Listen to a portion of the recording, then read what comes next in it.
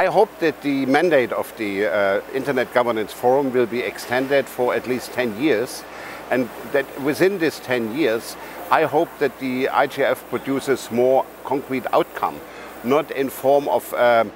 legally binding treaties, but in form of good messages, recommendations, guidelines, which will help uh, all stakeholders to uh, uh, move forward